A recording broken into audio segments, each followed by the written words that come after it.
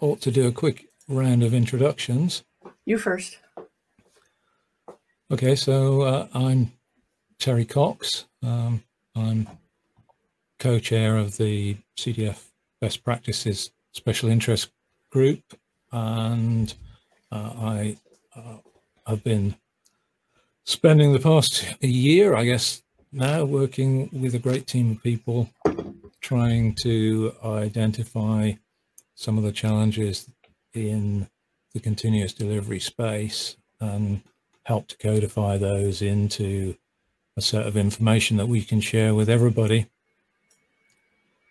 Uh, and uh, one of those uh, most excellent people is my friend here, Tara. Want to introduce yourself? Yeah, I'm Tara Hernandez. Uh, I am recently Vice President of Developer Productivity at MongoDB, uh, but not that far, uh, not that long ago. I was working in uh, cloud developer relations um, for Google. Um, as Terry said, we've been working on the best practices site framework for about a year now.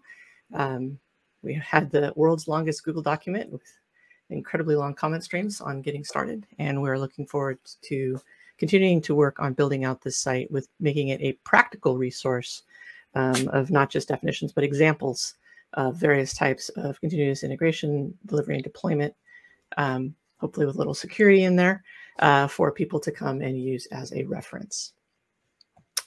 So getting us started. Let's see, who else do we have here? Did we get a Justin? I'm gonna pull him in if we did. Uh, Justin, if you're here, give a shout on the chat. Um, so we wanted to start with an overview of the site. Um, so the the most important thing is we've got the published site and the source code. So go ahead and do a share screen. Window, here we go. All right. So uh, here is the site. Um, it is, at the moment, a work in progress, in case you can't tell. And if anybody has a, uh, a mind towards um, uh, good content organization and color scheming, not quite sure about that chocolate, milk chocolate color there, for example. Um, we're looking for all kinds of different types of contributors. Um, and as you go into the site, the big area that we have been focusing on up to this point is the learn section. And right now, where, where we're at with this is kind of the overview topics that we have. Um, relevant to the latest research uh, that's going on around the industry as far as the definition types, tool stacks, and what have you. Um, we also um, have a community site, which we're hoping to focus on for the next year, which is bringing in those external examples. Um, so that'll be an area uh, of focus. Um, and of course, finishing out the site, there are some areas that aren't completely, um, uh, that aren't complete as yet. Um, we have a GitHub repo here uh, where you can clone and do pull requests uh, we have a number of issues uh, so far for looking for content development uh, or refinement um, as part of the CD Foundation organization. And Terry and I keep an eye on things and continue to put through changes. So that is sort of the basic overview. Uh, Terry, did I miss anything? No, uh, I, th I think really it's important to stress that this is a, a community effort and that uh, lots of people have contributed over over the past year or so, um, and we're really here to encourage more people to get involved and um, help to to build out not just the, um, the the basics of best practice, but also to help provide reference examples and case studies, and uh, a, a, just a a resource where we can all come to to find important relevant information to help us on this on this journey. Uh, and i think this is always a case of um, there are people at many different stages of this journey um, and those that have progressed a little further and um, taken a bit more battle damage can hopefully um, give a leg up to those who are just starting on their journey and minimize um, the the risk and pain involved in you know any, any, new venture like embarking on a continuous delivery process. So we definitely encourage people to um, to to reach out and, and come join the special interest group um, uh, or start providing pull requests on the on the documentation pack if you have something that you think is valuable to contribute. Um, on the community, uh, under the community section in the site shows the contribution guidelines. I'm just noticing that they're slightly out of date. Netlify is actually set up. It is how we are publishing this site. Um, I guess I have another fix I need to put into the content. Um, another aspect uh, is the tagging system. It's still a work in progress, but the hope is as the community contributions come in, and we do have those examples that Terry was talking about, uh, we'll be able to reference them back into uh, these categories. So as people are learning about them, they can go directly out to a particular example of that in execution. Okay, so we've got a couple of people in here. And one of the things we were curious to hear about, uh, folks, um, if you go ahead and either, I think you can, you can have like 10 people on the call, or if you'd rather just uh, type it into the chat window. Uh, we had some questions uh, around sort of gauging where your organizations are currently at um, as far as uh, the broad breadth of coverage of the thing that ultimately leads up to continuous delivery. So version control. Um, actually, let's just do a quick poll. So at your organization, um, put it into the chat or, or request a, a connection. And how many of your organizations have a solid uh, version control story uh, for your dev team? And I, I think one of the the learning experiences that we've had while we've been assembling this set of information has has been quite how big the disparity of information communication and knowledge there is in in this sector.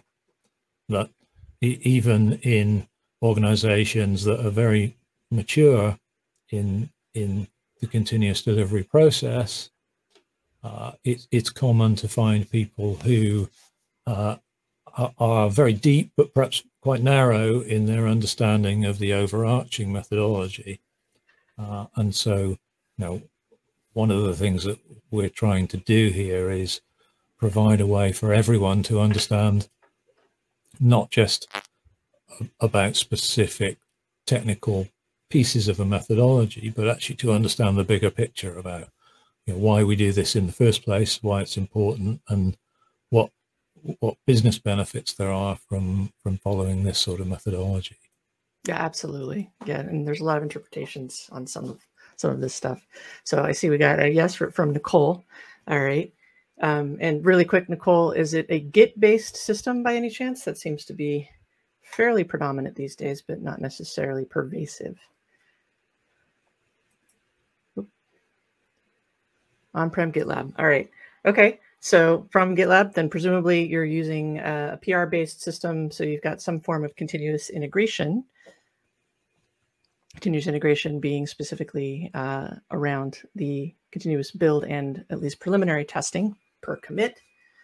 And then does your organization um, also do continuous deployment or stage delivery?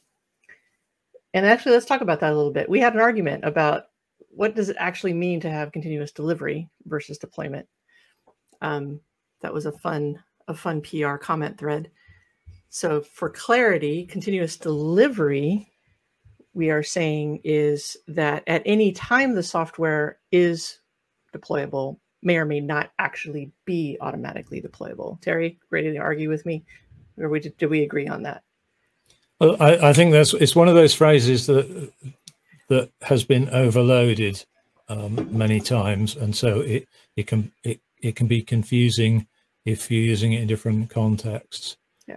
Um, we, broadly within the CDF, we use continuous delivery to mean the whole end-to-end methodology, um, which is not just the engineering piece, but also the the the commercial and, and business piece that you you need in order to uh, be able to deliver product rapidly and continuously. Change management, in other words, um, yeah. is, a, is a big part of that, right? Exactly. But then continuous deployment means you're actually doing it and pushing your stuff live. Um, because you have figured out all of those intricacies, which is very hard, by the way. Not a lot of places do it truly. So Nicole says, GitLab CI to build, test, and deploy. As far as CD, we automate prod deployments on tagging. Okay, excellent. Tagging in this case, meaning the Git tags. Um, so the tagging, uh, is that part manual based on um, a, a policy or is the tagging based purely on the automation. If you happen to know that.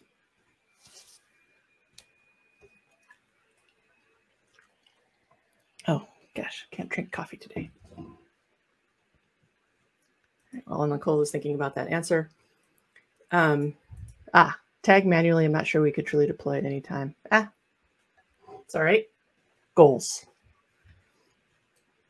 So another um, another uh, question that we that we thought of, and uh, Terry, I'd love for you to take the the lead on this one, which is you know so there's a certain amount, Nicole, in this case that we're picking on her, um, of automated testing that's in place. And one of the interesting questions uh, that we talked about is how do you automate testing at scale? So as your organization grows, as the consumption of your services expand, um, uh, at some point testing can get quite challenging um, I don't know, Terry, do you want to kind of walk us through some of the the gotchas that people could run into as part of like evaluating this?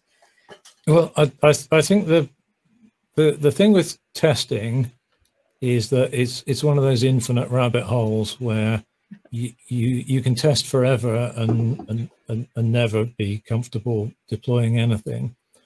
Um, but this is why it's important to come back to continuous delivery as a methodology rather than just a set of techniques. Because if you think about the reason for testing in the first place, it's it's because the overarching methodology is saying that we we know that we can never deploy something that is 100% correct and 100% safe. So we know we're always going to have problems. And, and so what we should be trying to do is get better at responding to issues and recovering from them rather than trying to get too focused on making sure that issues never happen. So when you think about that from the perspective of testing, it, it it's a better guideline in terms of saying what what should we be testing, what's important, because you under that perspective, you're, you're not trying to say, have, have we validated every single piece of this application in multiple different ways? What you're saying is, have we got some really good signals that will tell us when something has changed and things are not working the way we expected before? Can we do that in enough places that we can capture problems as soon as they occur um, and then potentially roll back to a known good position uh, rather than being more focused on a lot of upfront testing and then just chucking it out there and hoping it works anyway. Well, you know, it's uh, it's funny because I remember seeing the memes. Uh, gosh, I don't know, four, five, six years ago, where it was, you know, it was the world's most interesting man, it's like, I don't always test my code, but when I do, I do it in production. Or it's like, ah, ha, ha, that's silly, the most ridiculous thing ever. And yet here we are. And that is actually considered to, you know, to your point, actually valid and possibly more efficient because the signals that you're getting are actually the most accurate because they're reflective of the production environment. So then, yeah, absolutely. The what's your response time to failure becomes the most critical aspect of that. Yeah. Um, but I, I yeah, I, I, wish I could figure out a funny way to like turn that meme back around because it is considered completely legit at this point, if with the right kind of services, right? So you have the um, services that just physically take you know many hours to redeploy would not be a good cat uh, a good criteria match for that philosophy.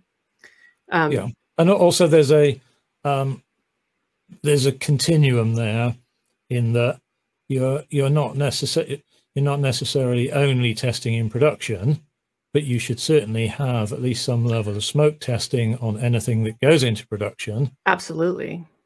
But and, what and, you do need is is to be able to have a an ongoing build and test that is sitting behind your production so that you know that the asset that you've got ready to deploy is actually still fit to deploy. And, uh, and this is something, yeah, sorry. sorry. No, no, go ahead. I, I, this is one of those ones where we tend to ignore the fact that code rots.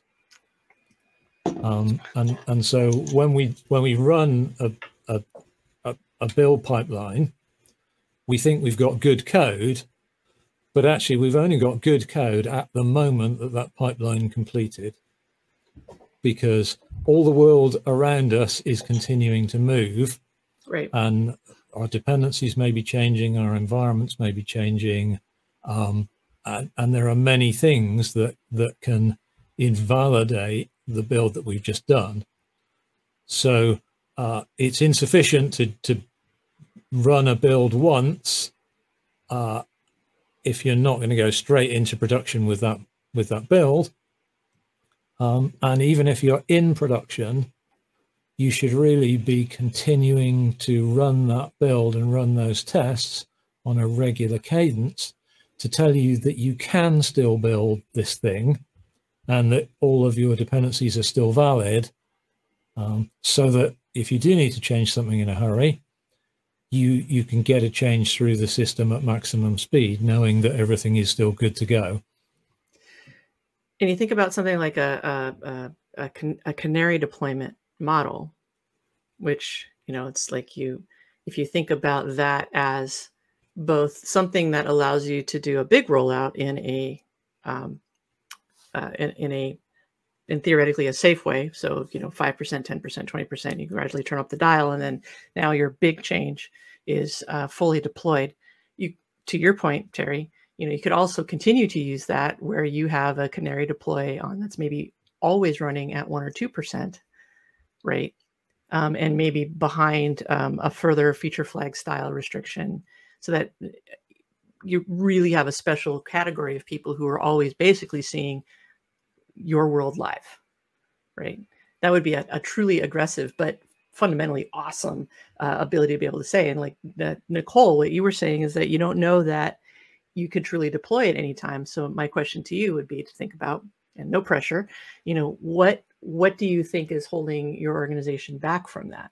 Right? Is it perhaps a, a lack of confidence in the coverage, in the lack of confidence in you know turnaround time, so failure to resolve, uh, or your I'm sorry, your time to resolve rate. Um, what sorts of things do you think uh, make that challenging? So take your time, give a, give a thought about that. Um, the other thing about testing at scale, so I think you know there's what you're talking about, Terry, which is freshness. Then there's like true scale. It's a lot of what companies do. Uh, Yelp was a great example of this because they're like, okay, well, you know, this cloud thing is pretty awesome, and AWS has these spot instances, and you know, those are cheap, so we can just test as much as we want. And then the rule of thumb is the tests are as fast as the slowest test. You try to parallelize things as much as possible, uh, but then you start running into, oh gosh, uh, the spot instances are actually becoming unavailable because the, you know, the tendency of those instances are getting overloaded, and and uh, very practically, it's like, oh, this isn't working anymore right? And then you also think about, okay, well, even if with Spot, or if you decide Spot is too unpredictable and you go to dedicated uh, residency, there's cost management, right? And so there's, you know, how do you evaluate um, the ROI of your infrastructure investment? Um, where's the inflection point to when, you know, you're spending the right amount of money and not too much or too little? So I think there's a definitely an art to that discussion as well. I wish I wish we could come up with a good heuristic on that one. Maybe that's a, a good exercise that someone could try. I don't know if you yeah. have thoughts on that topic either, Terry. Well, I, I was rather thinking that right now the primary reason for not being able to deploy is because the business isn't ready. Um, and, and that's where we hit one of the fundamental challenges, which is that if, if you're driving your continuous delivery adoption purely from an engineering perspective, you run the risk of getting stuck at some point because the business as a whole has release processes which sit outside of the engineering space, and those might be marketing or legal or uh, a range of different timing issues that need to be sorted out.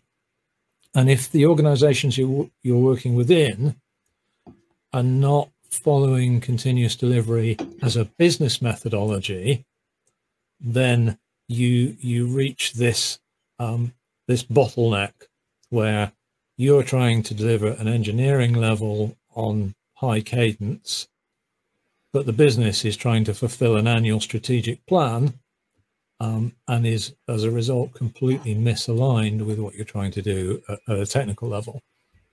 And so one of the most important things is to address that mismatch between methodologies at a commercial level before getting too deeply into continuous delivery as a technical uh, discipline.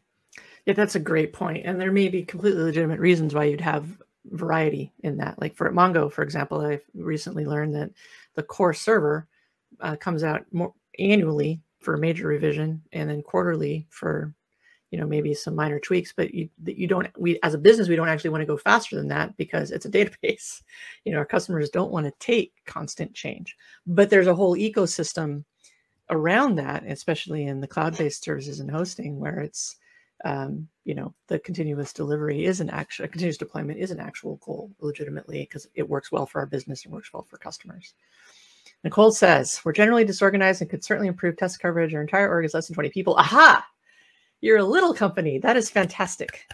It means that you're already looking in, into investing and doing it right. And so you will be more successful in the long run. Well done.